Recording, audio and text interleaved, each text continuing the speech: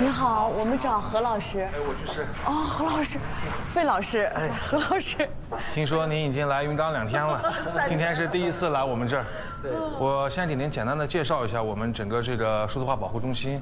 那咱们先往这边看，这个就是我们做的一些 VR 的影像，就您可以感受一下这个。感受一下。我每次在这都容易大惊小怪，真的是啊，我我可拍的就是你大惊小怪的样子。好真实啊！